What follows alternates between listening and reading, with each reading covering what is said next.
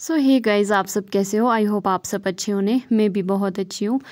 तो मैं आज आपको कुछ अलग दिखाने वाली हूँ। तो जिन भी लोगों को ये लगता है कि लड़कियाँ सिर्फ़ घर तक सीमित रह सकती हैं खेल कूद नहीं सकती है तो उनको मैं आज कुछ दिखाना चाहती हूँ।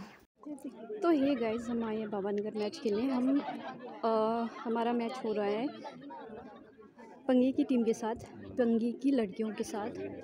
तो हम फ़र्स्ट इनिंग खेल चुके हैं। और अभी खेल रहे हैं। और ये हमारी लड़कियाँ बैटिंग कर रहे हैं और ये पंगी की लड़कियाँ और ये पंगी की लड़कियों ने हमें 62 रन का टारगेट दिया है और अभी कितना हुआ?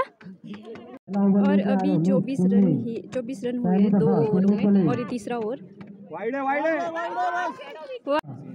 अभी मैच का कोई पता नहीं है तो देखते हैं क्या होता है।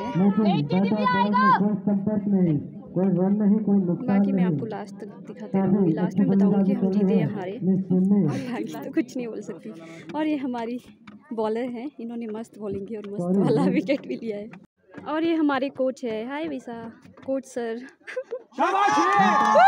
और ये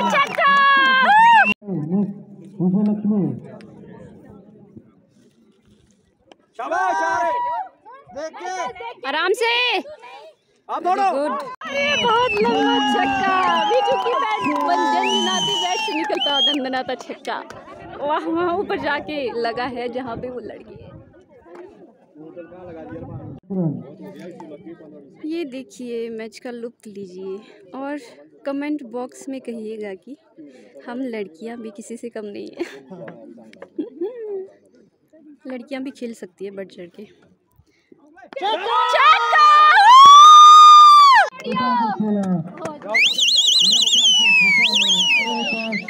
और छक्कों पे छक्कों की बारिश होते हुए।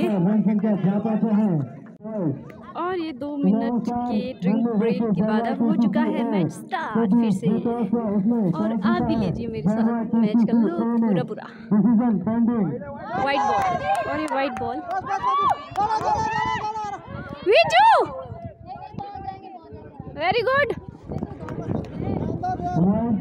बाई के रूप में वाला एक बाई के रूप में मिलने वाला एक और खर्चा दो रन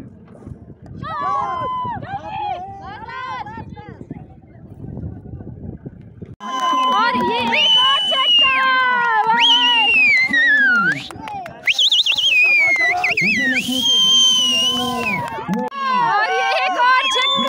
और ये की होते हुए।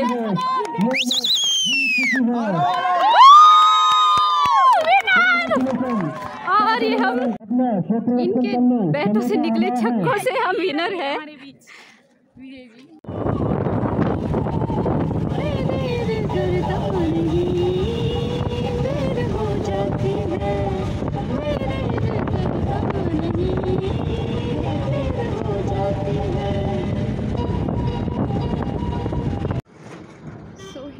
मैं पहुँच चुकी हूँ करछम और मुझे उस बस से उतरने का मन ही नहीं कर रहा था, क्योंकि उसमें इतने अच्छे अच्छे गाने लगे थे ना, क्या ही बोलूँ मैं। ओल्ड इज़ गोल्ड यार, तभी तो बोलते हैं ना गोल्ड तो गोल्ड ही है सही में।